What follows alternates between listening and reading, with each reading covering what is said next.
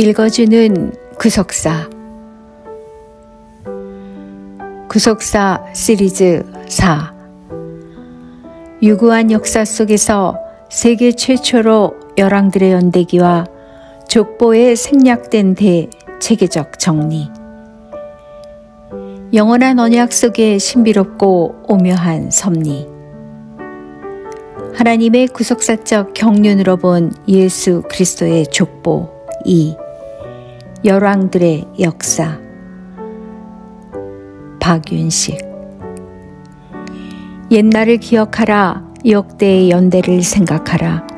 내 아비에게 물으라 그가 내게 설명할 것이요. 내 어른들에게 물으라 그들이 내게 이르리로다.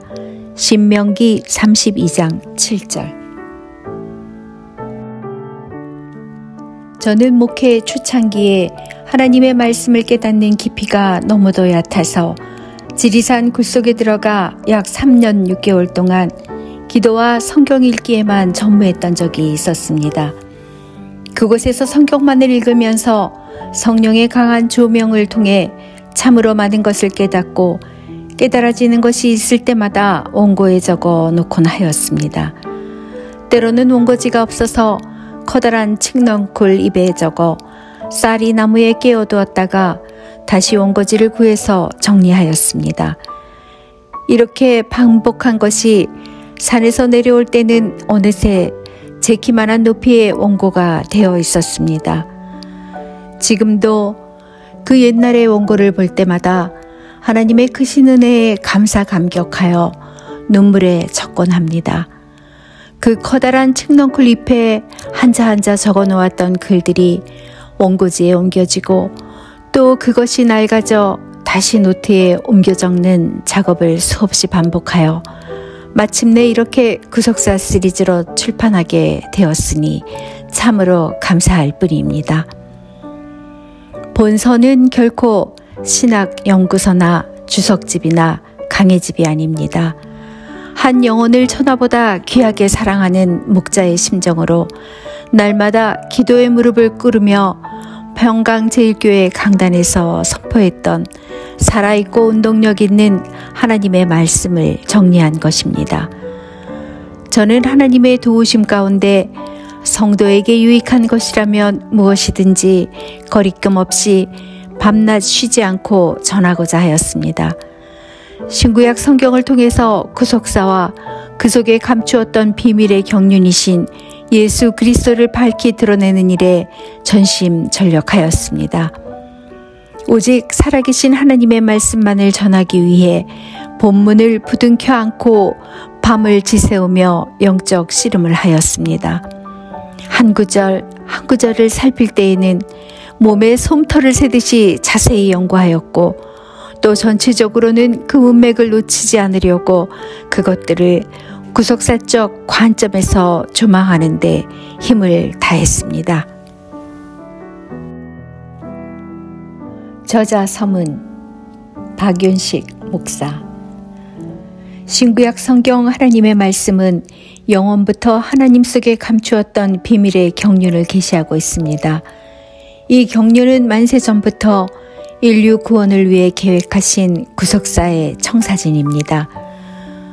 구속사는 타락일에 예수 그리스도 안에서 택하신 백성을 구원하시려는 하나님의 경륜의 역사입니다.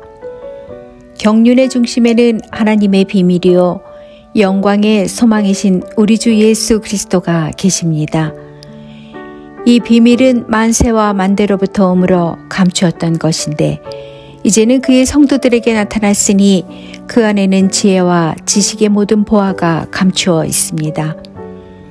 그래서 성경은 예수 그리스도를 바라보며 예수 그리스도를 증거하며 예수 그리스도에 의해서만 성취되는 것입니다.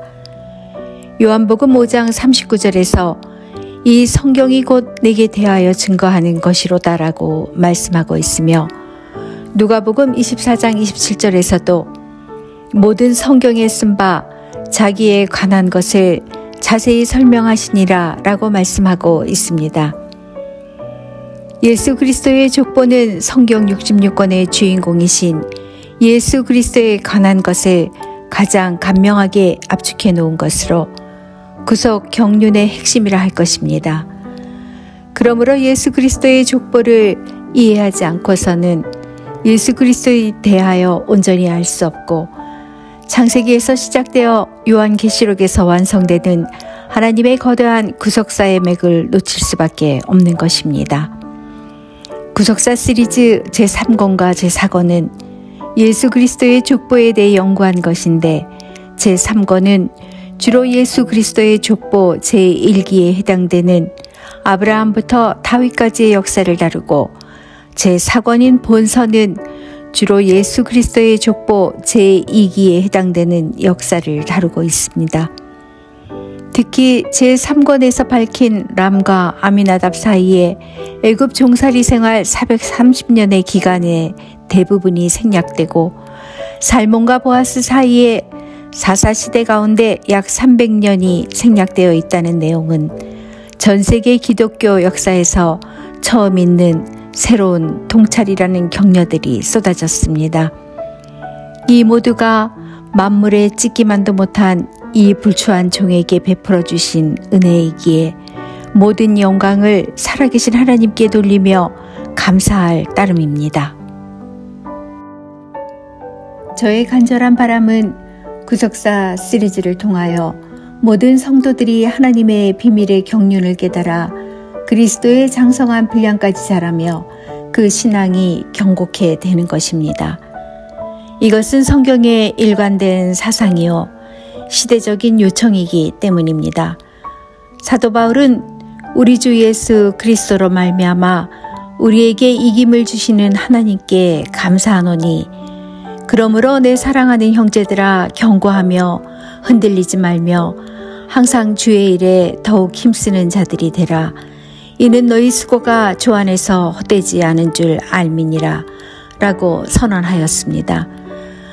사무엘 하 23장 5절에서 하나님이 만사에 구비하고 견고케 하셨으니 라고 말씀하고 있으며 로마서 16장 26, 27절에서는 너희를 능히 견고케 하실 지혜로우신 하나님이라고 말씀하고 있습니다. 본서가 한국 교회뿐만이 아니라 전 세계 교회 성도들의 신앙을 더욱 경고케 하는데 일조하기를 간절히 소망합니다. 저는 본서가 결코 저의 개인적인 저작이기를 원하지 않습니다. 이 책을 접하는 사람, 읽고 깨닫는 자 모두가 이 책의 저자가 되기를 간절히 기도하며 소망하고 있습니다. 무엇보다 평강제일교회 성도들의 헌신과 쉬지 않는 기도와 노고를 통하여 구속사 시리즈를 발간하는 놀라운 사역을 행하게 하신 하나님의 선하신 도우심의 손길에 진심으로 감사를 드립니다. 또한 저의 구태의연한 낡은 표현들을 현대 감각에 맞게 부드럽게 표현해주고 제가 정리한 복잡하고 방대한 내용들을 이해하기 쉽도록 도표로 만드는데 이름 없이 빛도 없이 헌신하여 준 동역자들과 수고한 모든 분들에 대하여 감사하는 마음을 여기 담아둡니다. 부디 우리의 남은 세계에 우리의 몸을 통하여 언제나 예수 그리스도만 존귀케 되며 이 책이 영원부터 하나님 속에 감추었던 비밀의 경륜을 밝히 드러내는 일에 크게 쓰임 받게 되기를 간절히 소망합니다. 2009년 10월 3일 전국 가는 나그네 길에서 예수 그리스도의 종 박윤식 제1장 영원한 언약과 하나님의 섭리 1. 하나님의 구속 경륜 신구약 성경 66권 전체를 관통하는 중요한 주제는 창조주 하나님의 절대 주권과 섭리, 타락한 인간의 구원과 회복이며 이 구원을 위한 방도와 근거가 예수 그리스도의 십자가로 말미암은 구속입니다. 죄인의 구원과 전 피조 세계의 회복을 위해 하나님께서 죄 있는 인간과 시공간 속에 함께 하시며 섭리에 오신 전 인류의 역사, 그것을 통틀어 구속사라고 합니다. 구속사의 경륜을 연구하고 살펴보는 일은 건축물로 말하면 뼈대에 해당하고 사람의 몸으로 말하면 척추에 해당할 만큼 매우 중대한 일입니다. 가장 높은 정상에 올라야 쭉 뻗은 거대한 대자연의 운치를 한눈에 조망할 수 있듯이 성경도 구속사의 관점에서 통시적으로 살펴야 저자이신 하나님의 뜻에서 이탈하지 않고 명확하게 깨달을 수 있는 것입니다. 구속사의 구속은 대가를 지불하고 소유권을 회복하거나 노예나 포로가 속박 상태에서 풀려나 자유와 석방을 얻는 것을 의미합니다. 우리가 예수 그리스도로 말미암아 구속받기 전에는 죄 아래 갇혀 마치 사형수가 사면이 완전히 봉쇄된 흑암 속 철장에 갇혀 있는 것과 같고 또한 죄로 말미암아 영적으로 매인바되어 일거수 일투족 감시당하는 상태와 같았습니다. 가혹한 형벌의 현장에서 아무 소망 없이 이미 정해진 죽음의 한날을 향해 그저 비참한 상태로 살아가는 신세였던 것입니다. 이렇게 피할 수 없는 죽음의 자리, 사망의 권세에 붙잡혀 있던 인간을 단번에 해방시켜 주신 것이 바로 예수 그리스도의 십자가 구속입니다. 하나님께서는 흠없고 순결하신 독자 예수 그리스도를 죄 있는 육신의 모양으로 이 땅에 보내어 죄를 정하사 십자가에 못 박혀 죽게 하심으로 그 육체로 우리의 죄를 담당하셨으니 우리는 그 부부애로운 피로 구속, 고 죄 사함을 받는 것입니다. 주림하신 예수 그리스도의 그 보배로운 피는 우리를 죄와 사망으로부터 구속하기 위해 지불하신 속전이며 우리를 십자가의 피값으로 사신 그 구원 사역은 단번에 이루어진 완전한 것입니다. 예수 그리스도께서는 만세전에 작정된 경륜 속에서 십자가를 지시고 세상 죄를 짊어진 하나님의 대속의 어린 양이 되셨습니다. 그것도 많은 사람의 대속물이라 하였으니 예수 그리스도께서 지불하신 속전의 효과는 구원받기로 작정된 모든 자들에게 미치는 우주적인 은혜이며 그 공효는 계속적이고 영원합니다. 이러한 예수 그리스도의 구속을 중심으로 펼쳐지는 구속사는 하나님의 작정된 경륜 속에서 진행되고 마침내 완성됩니다. 1. 구속 경륜 택한 백성의 구원을 위하여 하나님께서 만세전에 예정하시고 전 우주와 세상의 역사 속에 이루시려고 구체적으로 계획하신 뜻을 가리켜 하나님의 구속 경륜이라고 합니다. 헬라어로 경륜은 오이코노미아인데 이것은 오이코스와 네모가 합성된 단어입니다. 한자로는 날경, 낚싯줄 윤으로 이를 조직적으로 잘 계획함, 천하를 다스림, 경험과 그 능력, 솜씨라는 뜻을 가지고 있습니다.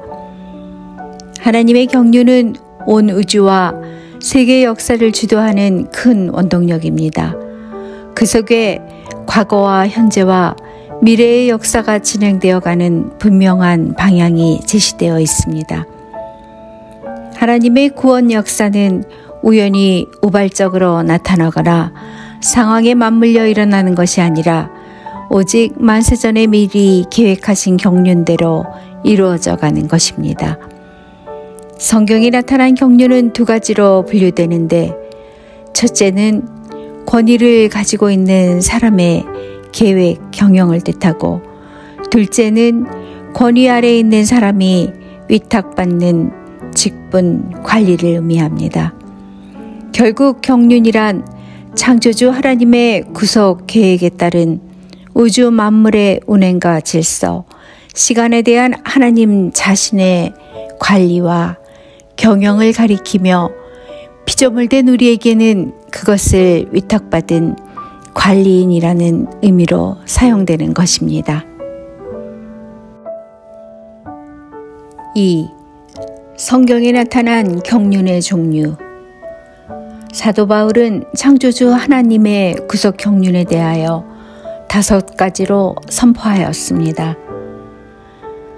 1. 믿음 안에 있는 하나님의 경륜이 있습니다. 디모데전서 1장 4절에서 신화와 끝없는 족보에 창념치 말게 하려 함이라. 이런 것은 믿음 안에 있는 하나님의 경륜을 이름보다 도리어 변론을 내는 것이라 라고 말씀하고 있습니다. 여기에 믿음 안에 있는 하나님의 경륜이 나옵니다. 경륜의 주체는 하나님이십니다. 사람의 경륜은 존재할 수 없으며 오직 하나님의 경륜만이 존재합니다. 그 이유는 피조된 인간은 온 우주 만물을 관리하고 경영할 수 없기 때문입니다. 하나님의 경륜은 믿음 안에 있는 것입니다. 믿음 밖에서는 결코 하나님의 경륜을 이해할 수도 깨달을 수도 없습니다. 오직 믿음 안에서만 하나님의 경륜을 이해하고 그 경륜을 바라보고 그 경륜을 쫓아 달려갈 수 있습니다. 이 은혜의 경륜이 있습니다. 에베소서 3장 2절에서 너희를 위하여 내게 주신 하나님의 그 은혜의 경륜을 너희가 들었을 터이라 라고 말씀하고 있습니다. 여기 은혜의 경륜은 사도 바울이 복음의 일꾼 된 것이 전적으로 하나님의 은혜라는 뜻입니다. 나아가 사도 바울에게 그리스도의 비밀을 알게 하신 것이 전적으로 하나님의 은혜라는 뜻입니다. 더 나아가 이방인들도 하나님의 은혜로 구원의 대상이 되었다는 것입니다. 사도 바울은 하나님께서 세우신 이러한 은혜로운 구원의 경륜을 알고 자신이 이 계획에 동참하여 사역하게 되었고 그 맡은 일을 감당하게 하시려고 은혜를 주셨다고 증언한 것입니다. 만물의 찌기 같은 우리가 지극히 높고 크신 하나님의 원대한 경륜을 어떻게 헤아리며 측량할 수 있겠습니까? 하나님의 경륜을 아는 것은 오직 하나님의 은혜요. 또 만세 전부터 예비하신 그 은혜로 우리가 구원을 받게 되는 것입니다. 3. 비밀의 경륜이 있습니다. 에베소서 3장 8, 9절에서 모든 성도 중에 지극히 작은 자보다 더 작은 나에게 이 은혜를 주신 것은 측량할 수 없는 그리스도의 풍성을 이방인에게 전하게 하시고 영원부터 만물을 창조하신 하나님 속에 감추었던 비밀의 경륜이 어떠한 것을 드러내게 하려 하심이라 라고 말씀하고 있습니다. 이것은 하나님의 경륜이 감추어진 비밀임을 의미합니다. 언제부터입니까? 만세와 만대로부터 오므로 감추었던 것이며 영원부터 감추어진 것이며 만세 전에 감추어진 것입니다. 그리고 이 비밀은 하나님 속에 감추었던 것이므로 하나님께서 그것을 드러내 주시기 전에는 사람은 절대로 알 수 없고 그저 신비에 쌓인 비밀로 남아있게 됩니다. 에베소서 3장 9절에서 드러내게 하려 하심이라는 헬라어 포티조 밝게 하다, 비추다, 조명하다라는 뜻입니다. 그러므로 하나님의 구속사적 비밀의 경륜은 사람의 지혜로는 능히 헤아릴 수 없으며 오직 성령의 조명을 통해 하나님께서 열어주실 때 비로소 밝히 깨달을 수 있는 것입니다. 4. 때가 찬 경륜이 있습니다.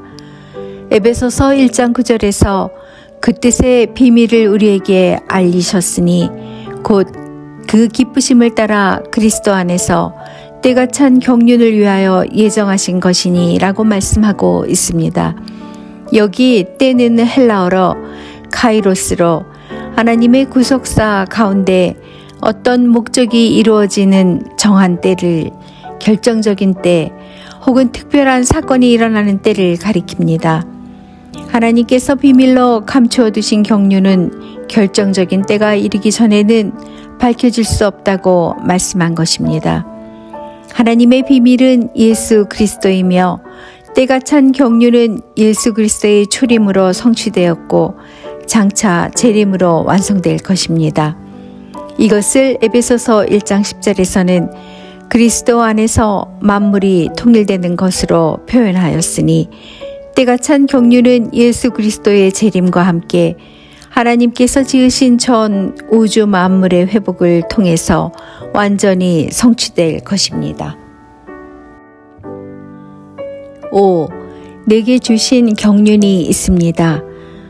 골로새서 1장 25절에서 내가 교회 일꾼 된 것은 하나님이 너희를 위하여 내게 주신 경륜을 따라 하나님의 말씀을 이루려 함이니라라고 말씀하고 있습니다. 또 내게 주신 하나님의 그 은혜의 경륜이라고 말씀하고 있습니다. 하나님께서는 하나님의 경륜, 은혜의 경륜, 비밀의 경륜, 때가 찬 경륜을 사도 바울에게 주셨습니다. 하나님께서 사도 바울에게 경륜을 주신 것은 그를 통하여 하나님의 말씀을 이루시기 위한 것이었습니다. 그러므로 사도 바울이 교회의 일꾼이 된 것은 자신의 의지나 뜻대로 된 것이 아니라 전적으로 하나님의 경륜을 따라 된 것입니다.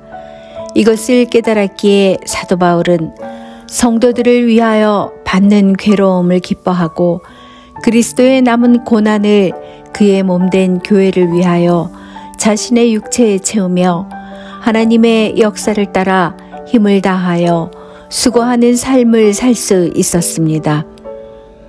만세와 만대로부터 오므로 감추었던 하나님의 구속사적 경륜이 이제 사도 바울을 통하여 그의 성도들에게 나타났습니다. 하나님의 감추어졌던 비밀을 알리는 것이 바로 교회의 사명입니다. 에베소서 3장 10절에서 교회로 말미암아 하나님의 각종 지혜를 알게 하려 한다고 말씀하고 있습니다. 그러므로 교회가 전 세계에 드러내고 전파해야 할 것은 하나님의 비밀이요 영광의 소망이신 예수 그리스도입니다. 이 땅에 존재하는 모든 성도와 교회들은 믿음 안에 있는 하나님의 경륜, 은혜의 경륜, 비밀의 경륜, 때가 찬 경륜, 각자에게 주신 경륜을 선포하는 영광스러운 사역의 주인공들입니다. 우리가 숨쉬고 살아 존재하는 이유는 하나님의 비밀의 경륜을 드러내기 위한 사명 때문입니다.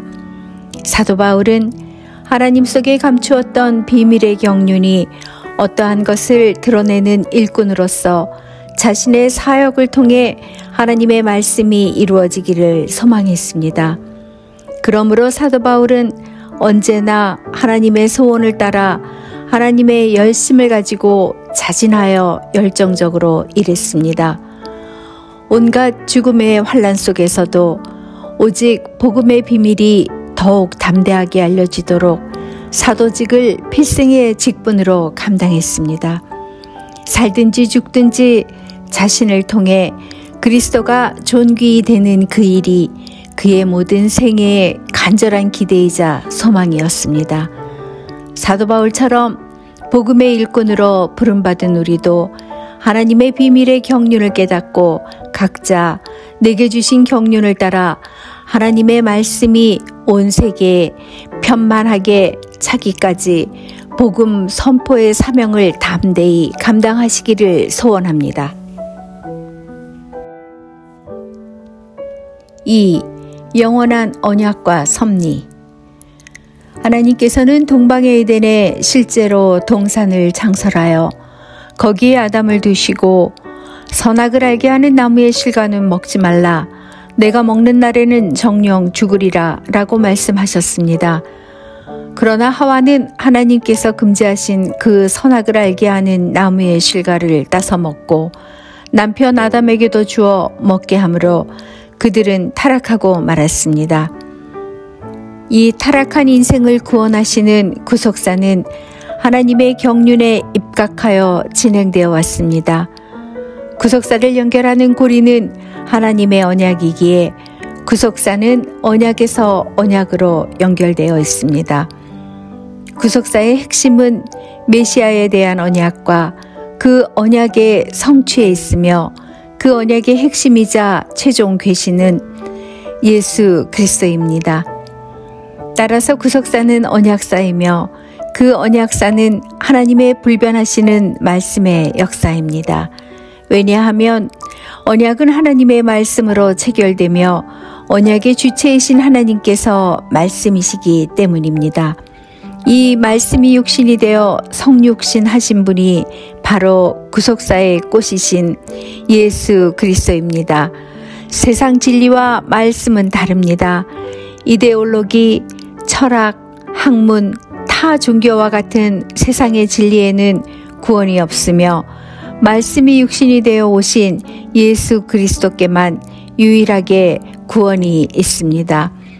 따라서 말씀은 구속사와 함께하고 그 말씀이 전 구속사를 주도해가는 주체입니다.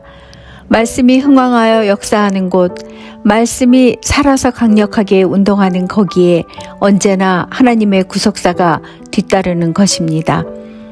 하나님께서는 구속사의 시대 시대마다 언약을 새롭게 갱신하셨습니다. 언약에 대한 최초의 계시는 창세기 3장 15절에 나타난 여자의 후손에 대한 약속에서 엿보이며 그 후에 하나님의 언약은 노아 언약, 아브라함 언약, 시내산 언약, 다윗 언약, 예레미야의 새 언약으로 발전하였습니다. 하나님께서는 이러한 언약을 기억하고 붙잡는 자에게 생명과 평강의 언약, 화평케 하는 언약, 평화의 언약으로 역사하십니다. 각 언약들은 결코 그 시대에만 유효한 것이 아니라 세상 끝날까지 영원토록 유효합니다. 그러므로 하나님의 언약은 구속사를 완성시키는 원동력이요. 하나님의 섭리라는 구체적인 구속 활동의 근거가 되는 것입니다. 그렇다면 세상 끝날까지 유효한 하나님의 언약의 특징은 무엇입니까? 1. 주권적인 언약입니다. 타락하여 범죄한 인간은 감히 하나님과 언약을 맺을 자격이 전혀 없는 존재임에도 불구하고 만유보다 크신 하나님께서 택하신 백성의 구원이라는 위대한 경륜을 이루시기 위하여 일방적으로 찾아오셔서 언약을 체결하셨습니다. 이처럼 언약은 주권적 은혜의 산물이며 그 속에는 한 번 정하신 뜻을 반드시 이루시고 끝까지 책임을 지신다는 변함없는 확증이 담겨 있습니다. 성경에는 이러한 주권적 언약을 다음 몇 가지 표현들을 통하여 나타내고 있습니다. 1. 내 언약, 나의 언약입니다. 출애굽기 6장 5절에서 나의 언약을 기억한다고 말씀하고 있으며 여호수아 7장 11절에서 이스라엘 백성이 나의 언약을 어겼다고 말씀하고 있습니다. 이처럼 성경 여러 곳에서 언약을 가리켜 자주 나의 언약이라고 말씀하고 있습니다. 창세기 6장 18절에서는 내가 내 언약을 세운다고 말씀하고 있습니다. 레위기 26장 42절에서 내가 야곱과 맺은 내 언약과 이삭과 맺은 내 언약을 생각하며 아브라함과 맺은 내 언약을 생각하고 라고 말씀하고 있습니다. 이 외에도 성경 여러 곳에서 내 언약이라고 말씀하고 있습니다. 2. 주의 언약입니다. 시편 기자는 위경에 처한 이스라엘을 속히 구원해 주기를 기도하면서 주의 언약을 어기지 아니하였나이다 라고 탄원하고 있으며 예레미야 선지자는 폐역한 유다 백성을 위한 중보기도에서 주의 언약을 기억하시고 패하지 마옵소서라고 간구하였습니다. 이외에도 신명기 33장 9절과 열왕기상 19장 10절, 14절에서 주의 언약이라고 표현하고 있습니다. 3. 하나님 여호와의 언약입니다. 역대하 34장 32절에서 요시아 왕 때 신앙 회복을 위해 예루살렘 거민이 하나님의 언약을 쫓았다고 말씀하고 있습니다. 이 외에도 성경 여러 곳에서 하나님의 언약 혹은 여호와의 언약이라고 표현하고 있습니다. 언약에 대한 이 모든 표현들은 언약의 주체가 하나님이심과 모든 언약이 하나님의 주권적인 은혜로 세워진 것임을 나타냅니다.